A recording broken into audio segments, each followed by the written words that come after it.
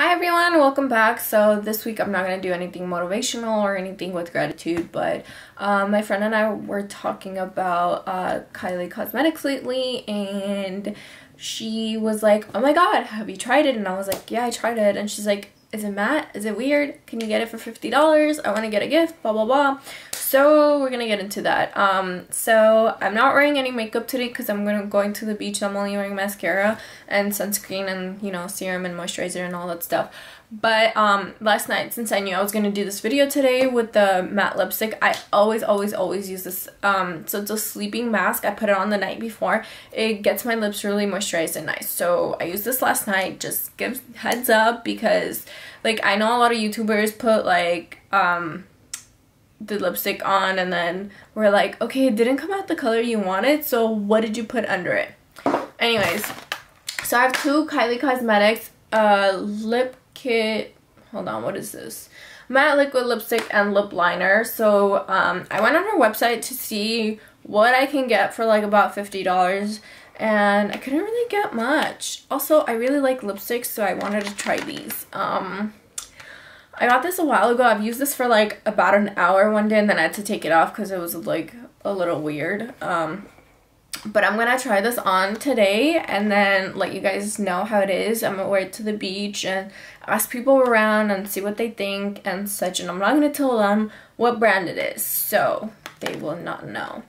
Um, so this one's called 20. It's like a little darker so I'm not gonna use this today because I'm going to the beach and I need something bright. Sorry. This one's called Show Off so um, it has a lip liner in it and the liquid matte. Um, so far, I don't really like that this is loose. It like will get lost and I don't like that. Anyways, let's put it on. It's really bright. Which means it's good. Good for the beach and the California weather. It's been really hot lately. It's literally like I woke up this morning and it was 85 degrees and I absolutely hated it. Even with the full AC on blast, it's still like really hot here. Anyways, now I'm going to put the liquid lipstick on. Glide down really nice and soft. It smells really good too.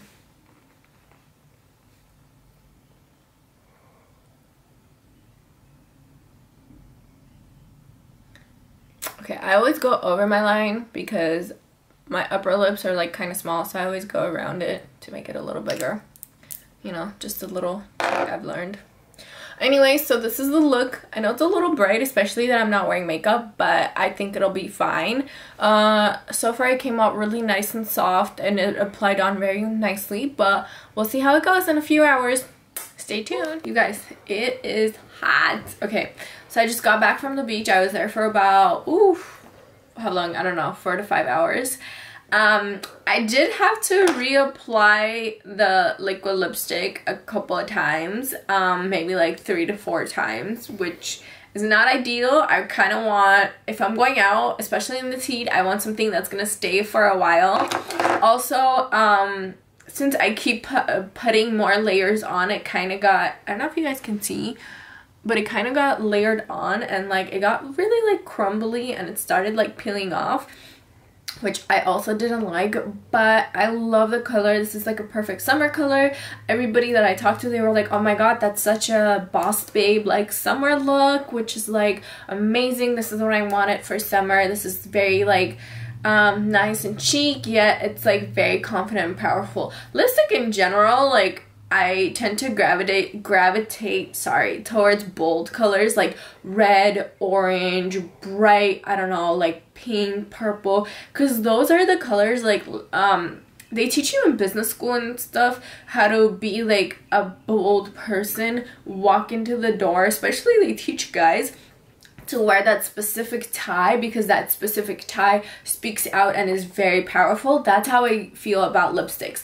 They make me feel very confident so when I walk out the door, like even if I'm having the worst day, I can look at myself and be like, you know what? I'm wearing my confident lipstick. that's it. I can still do this. Have the worst day of my life and still be like, yes, I can do this.